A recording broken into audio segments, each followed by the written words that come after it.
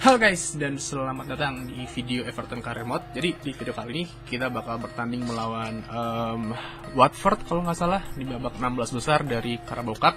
Jadi gue bakal menggunakan pertandingan kali ini buat buat mainin para pemain muda kita.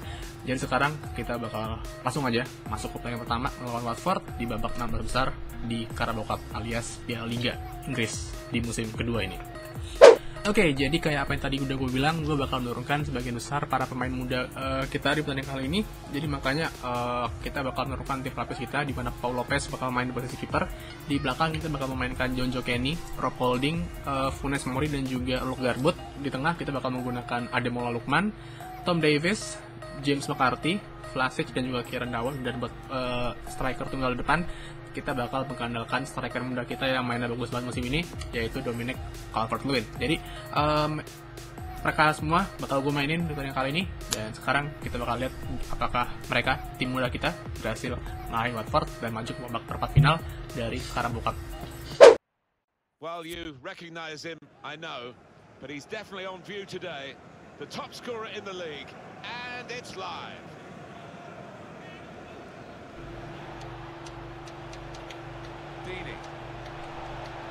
Ah, bahaya. Ya, elah kejebolan. Parah banget nih tim muda kita kayak masih belum itu ya, masih belum siap kayak buat main. Soalnya kalau lo inget di pertandingan sebelumnya, pas kita lawan Bolton di babak sebelumnya itu, kita kan juga sempat struggling kan. Dan sekarang ini kita ketinggalan 1-0 lewat gol yang dibuat sama Troy Dini, kaptennya Watford. Awas, nice save dari Paul Lopez. Dia udah kejebol satu dari gawangnya bahaya sih.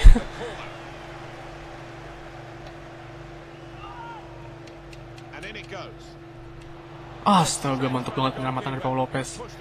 Kalau bukan karena dia kita udah kalah 3-0 nih mungkin. Jadi kita mesti main lebih bagus lagi Supaya nggak kalah dan nggak tersingkir dari Carabao Cup Ayo Tom Davis Set kasih ke Calvert Lewin Penalti dong. Ya. Gak penalti lagi. Bersih banget tackle dari Kabasele. Um, kita bakal arahin ke kepala ya Calvert Lewin. Eh bukan deh, tuh ada Ademola Lukman, yoi. Gue gak tahu gimana caranya Ademola Lukman bisa uh, kosong di kotak penalti dan akhirnya bisa ngejebol ke Watford. Tapi gak apa sih, bagus. Kita bisa jadi bisa nyamain skor. Gue gak nyangka ada Lukman di kotak penalti, padahal udah kan dia cebol kan. Ngapain gue bilang si Lukman di kotak penalti? Lihat nih, nih mana ya Pak Lukman oh dia nggak ada jagain makanya enak banget free header udah untung sih gol karena kalau lo lihat-lihat gak Lukman kan cebol kan jadi dia apa sembilannya kayak nggak bagus-bagus banget dan dua gol udah dibuat sama Ademola di uh, Cup. Lumayan lah buat pemain yang overall 70 doang. Ayo Lukman. Scoop kena golin. Aduh ditepis mantep banget dah Gomez. Kok bisa gitu anjir? Padahal tendangan tendangan udah, udah lumayan bagus sih. Tapi Gomez walaupun udah tua masih bagus refleksnya hmm, ayo Calvert Lewin. Eh Calvert Lewin. Ada malu Lukman. Mantep banget Lukman. Set. Ah salah. Kenapa gue oper offset kan dia? Artinya gue biarin aja tuh gue shoot langsung gitu gue apain malah gue oper salah kalau refleks tendangan gue refleks pencet X. Nggak tahu nana Set. Cokap. Calvert Lewin. Bawah. Garbut dong. Woi, penalti ref. Akhirnya penalti juga. Setelah Luke Garbut dijatuhin sama siapa sih nomor 3 tuh mukanya abstrak loh. Gue gak tahu sih. Siapa tadi siapa sih namanya? Gak tau lah, gak penting, bodo amat. Dan gue gak tahu siapa yang ngambil penalti di tim kedua ya. Kayak Calvert Lewin ya yang ngambil penalti di tim pelapis ini. Kita lihat, nah bener Calvert Lewin yang bakal ngambil penalti gue pakai panah nggak ya pakai deh bodoh gue bakal arahin ke kanan nggak ada yang ke tengah yes Dominic Calvert Lewin berhasil bikin gol yang bikin kita unggul 2-1 di pertandingan pertama kali ini tapi kita nggak boleh nonton dulu karena kalau kalau kalau lo ingat di pertandingan sebelumnya pas kita lawan Bolton kita juga menang dengan skor 2-1 cuma di menit terakhir kita kebobolan jadi uh, kita masih harus uh, bertahan dengan benar dan jangan sampai uh, Watford bisa nyamain skor yang bikin pertandingan lanjut ke babak perpanjangan waktu. Ayo McCarthy. Set. Cover Lewin ke atas. Yes, Nicola. Vlasic. Ah, rebound. Cakep banget James McCarthy. Yang kita percaya untuk jadi kapten yang kali berhasil bikin gol ketiga buat Everton. Dan semoga ya sih ini udah bisa mastiin uh, tempat kita di babak perempat final dari Carabao Cup. Wow, bagus banget operannya ke Salvio. Dan back kiri kita udah gak bisa ngejar sih. Soalnya Salvio lari kenceng banget. Awas. Uh, kena tiang. Buang, buang, buang. Aduh, tiang lagi dua kali ini kita. Hokinya kayak apa anda? Buset deh. Buang. Kenapa dibuang ke, ke tengah? Pintar banget dah. Sumpah nih kita hoki banget loh. Tiga kali dalam satu permainan. Apa? Watford kena tiang semua tendangannya. Oke, okay, dan itu dia uh, akhir dari pertandingan pertama di video kali ini. Kita berhasil mengalahkan Watford dengan skor 3-1 lewat 3 gol yang dibuat sama Ademola Lukman, Dominic Calvert-Lewin dan juga James McCarthy dan hasil ini kita bisa uh, meraih tiket ke babak perempat final dan kita bakal cari tahu siapa yang bakal kita hadapi di babak perempat final uh, nanti kayak di akhir video. Oke, okay, jadi buat pertandingan kedua di video kali ini, gue bakal menurunkan sebagian besar para pemain pelapis gue, karena gue pengen mengistirahat, mengistirahatkan para pemain utama gue buat pertandingan Liga Champions yang bakal kita mainin sebesar uh, abis ini. Dan juga gue bakal sim karena gue uh, ngerasa kita pasti bisa lah ngalahin Fulham, karena kalau uh, lo lihat peringkatnya di kelas sementara itu, sekarang uh, kita di peringkat, di peringkat pertama, sedangkan Fulham ada di peringkat terakhir. Jadi kita semestinya di atas kertas bisa lah ngalahin Fulham apalagi kita main di kandang kan main di Goodison Park jadi kita punya peluang yang cukup besar untuk ngalahin mereka. Jadi kita bakal sim aja tandingan kedua di video kali ini melawan Fulham dan kita bakal lihat hasilnya kayak gimana. Semoga sih menang sih soalnya kalau kalah kebangetan banget. Iya tega banget sama gue padahal kita mereka pertama loh. Kalau kalah kebangetan makanya dan sejauh ini nggak ada apa-apa sih. Nggak ada kartu kuning nggak ada apa-apa. Kartu kuning ada. Dan ternyata Sandro berhasil bikin gol pertama buat Everton. Dan Sandro bikin dua gol. Mantap juga tuh orang diam-diam bagus juga mainnya. Padahal gue jarang tuh mainin Sandro loh di Liga Inggris. Nggak tahu kenapa. Gue lebih suka Calvert Lewin daripada Sandro. Padahal Sandro lebih bagus. Dan kelasan bikin gol ketiga buat Everton dan ini mungkin bakal jadi gol terakhir yang ada di pertandingan uh, kali ini. Jadi kita bisa bisa ngalahin Fulham dengan skor 3-1 lewat gol-gol yang dibuat sama Klasen dan juga dua gol yang dibuat sama Sandro sedangkan gol buat Fulham dibuat sama Agra di menit ke berapa sih dia golin? 55 Agra tuh kalau salah dapat TOTS gak sih? Di FIFA 16 iya gak sih? Kayaknya iya deh. Gue lupa lupa ingat soalnya Oke, okay, jadi buat pertandingan ketiga di video kali ini kita bakal bertanding melawan FC Porto di Liga Champions dan gue bakal menurunkan sebagian besar para pemain yang ada di tim utama karena um, mereka udah udah kita istirahatin pas kita main lawan um, siapa tadi Fulham di Liga Inggris yang kita sim tadi. Jadi makanya Pickford bakal main di posisi kiper. Di belakang kita bakal menurunkan uh, Leighton Baines sebagai kapten. Kemudian ada Christensen, John Stones, Michael Keane dan juga Seamus Coleman. Di tengah ada um, Gilvy Sigurdsson dan juga Morgan Stanley dan di depan seperti biasa kita bakal mengandalkan tiga pemain yang kita sangat andalkan yaitu Rashford di kiri, Rooney di tengah dan juga Kylian Mbappe di kanan. Jadi semoga aja tim utama kita bisa mengulangi apa yang diraih sama tim pelapis kita di pertandingan pertama di mana mereka bisa ngalahin uh, Watford dan semoga aja uh, kita bisa ngalahin FC Porto di pertandingan ketiga di Liga Champions kali ini. Yes. Rashford, Rooney balikin lagi ke Rashford. Ayo Rashford. Golin. Yuk ya offside lagi. Ah. Ah tadi umpan Rooney udah bagus banget. Cuma saya lihat Rashford memang offside. Ayo Rooney. Set, Rooney mantap banget. Eh Rooney lari. Lari. Bukan lambat tapi bisa lari. Golin. Uh Wayne Rooney walaupun udah tua, walaupun udah masuk musim kedua tapi mainnya masih gila banget ya. Sumpah Rooney, gue, dia, kok dia bisa ya? Enak banget gitu ngelewatin para pemain FC Porto, eh, pemain FC Porto kadang bisa ngejar. Ini yang yang yang ngejar emang si Felipe doang, Felipe kan gak bisa lari. Terus yang hitam siapa sih namanya? Boli. Boli juga lari cuma 70-an kayaknya deh. Dan Rooney kalau udah nge ngegas sih susah dikejar. Apalagi dia punya strength kan, jadi kalaupun ditabrak tuh Rooney pasti bisa lah uh, outstrength si Felipe dan juga Boli. Ayo Rudy. Rudy kasih ke Mbappe. Uh, umpan Rudy bagus banget Mbappe golin. Cakep banget sih. Hah, kombinasi antara Rooney sama Mbappe. Tapi yang paling yang menurut lebih bagus sih umpan Rooney sih bagus banget. Nembus pertahanannya FC Porto dan Mbappe tinggal nendang doang, tinggal finishing gitu doang sih semua orang juga bisa. Ini umpan Rooney nih, set bisa nembus dua orang. dan sana ada Mbappe yang lari kenceng banget yang bisa ngejar operan dari Rooney. Nah, kita masih bikin chance buat Mbappe, apa ya enaknya? Ntar gue, gue mikir nih, gue, gue kalau bikin chance nanti mikir, nggak bisa spontan. Kalau Rooney kan udah ada kan Rooney kan, Rooney udah ada. Terus siapa lagi sih yang udah ada? Nggak tahu sih, baru Rooney doang. Bawah, yes. Kasih ke Rooney, ayo Rooney. Kocek. Oh, lewat. Golin. Aduh, Casillas. Ngur banget ya, Bang. Mau bikin gol kedua dia kan. Kok bisa-bisanya Casillas ya, bisa nepis tendangannya Rooney ya. Des, pakai tangan kiri ya dia. Boleh juga sih. Leighton Baines, set. Michael Keane, kasih ke Kylian Mbappe, set. Oh, lewat semua. Mbappe golin. Ah, ketepis sama Casillas. Tackle. Nope. Ayo, Mbappe, lari. Oh.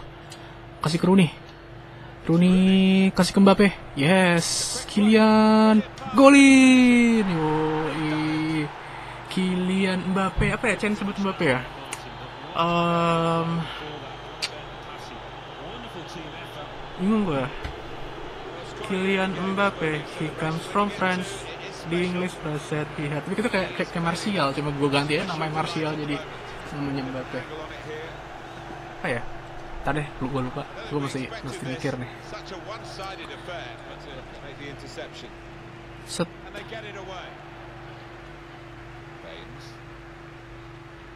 Yuk, Rooney. Klasen. Edisa Gay. Mbappe. Rooney. Oh, lewat. Mantap banget. Eh, Rooney. Hat, lewat lagi. Shoot. Uh. Bagus banget soloran dari Wayne Rooney. My lovely captain. Eh, ini buat captain deh. My lovely player.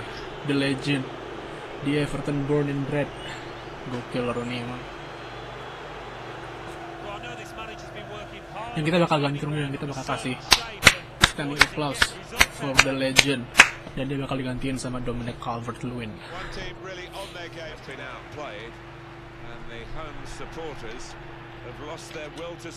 Ah, pilih bola anjir. Ini. Bisa nggak gue sih? Culun banget ya, siapa sih yang nendang? Jermain Lens ya? Kaki kiri. Ya ampun, pakai tangan mantep juga Pickford ya mainnya ya, aduh eh lolos aja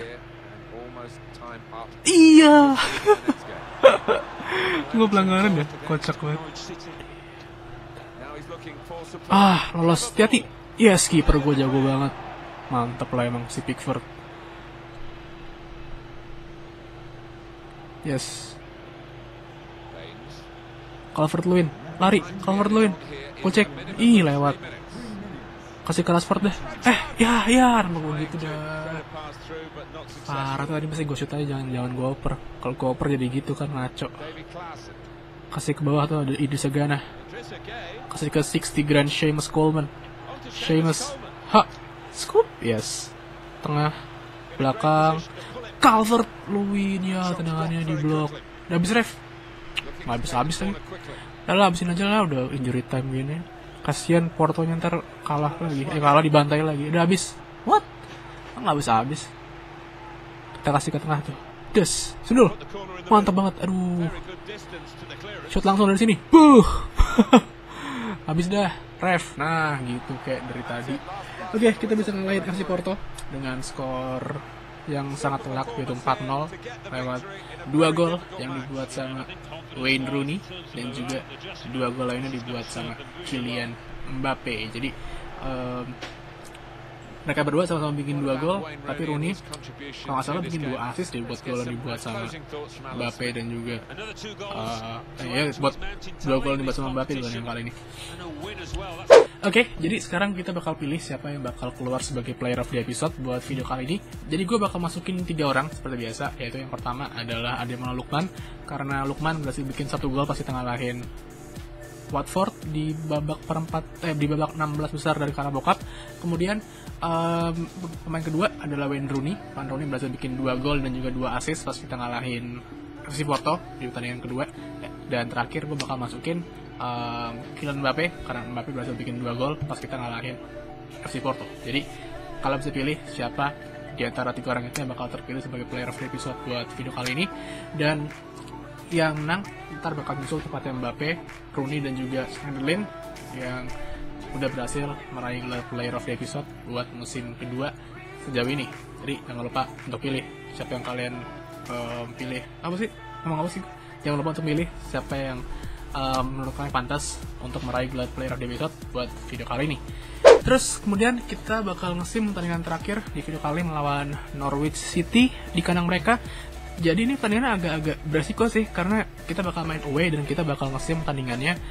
Uh, tapi kalau kita ngelihat dari posisi di klasman sekarang tuh sekarang tuh Norwich ada di posisi papan bawah. Jadi gue yakin lah tim kita pasti bisa uh, untuk ngalahin Norwich. Apalagi kita bakal menggunakan tim utama kita. Dan kita bakal lihat gimana hasilnya uh, dari pertandingan terakhir di video kali ini. Dan juga setelah gue ngelihat apa yang udah kalian kasih masukan ke video food gue yang sebelumnya jadi di situ gue nanya kalian mau lihat video Tottenham Hotspur Career Mode tapi durasinya 2 jam uh, atau enggak? Jadi itu buat yang kelewatan kalian bisa tonton videonya sekarang. Dan um, kebanyakan dari kalian itu setuju atau apa ya uh, pengen lihat videonya. Jadi mungkin ntar bakal gue upload videonya gue nggak tahu kapan. Tapi yang jelas nggak minggu ini. Dan juga gue pengen uh, bikin videonya tuh formatnya kayak videonya Nepenthes jadi um, gue ngasih lihat gameplay tapi gue bakal ngejawab jawabin pertanyaan dari kalian. Jadi gue pengen video gue kayak video Nepenthes aja karena gue suka banget nonton video Nepenthes dan gue pengen ngopi anjir ngopi. Apa ya? Yang gue, gue pengen niru uh, format video Nepenthes jadi um, kalian bisa kasih gue pertanyaan di video kali ini di comment box. Nanti gue bakal coba untuk jawab semuanya. Dan kalau bisa pertanyaannya uh, seputar FIFA karena gue kayak tadi gue bilang gue pengen video videonya kayak Nepenthes tapi kalau kalian nggak mau tanya soal FIFA juga nggak apa tanya soal bola atau soal NBA atau soal WWE atau wrestling bisa aja tanya ke gue karena itu adalah hal-hal yang gue suka. Jadi uh, kasih gue pertanyaan di bawah comment box dan uh, ntar gue bakal jawab videonya di video yang durasinya 2 jam itu di mana gue bakal main Tottenham Hotspur Career Mode selama satu musim yang bakal gue tunjukin di satu video. Dan betul kita kalah ya lawan Norwich ya? Iya anjir kalah lawan Norwich. Parah banget. Dan um, sekarang gue bakal kasih ke kalian gimana klasmen sementara di Liga Inggris. Jadi di Liga Inggris sekarang kita uh, masih memimpin klasmen dengan raihan 28 poin terpaut satu poin dari Leicester yang ada di peringkat kedua dengan 27 poin.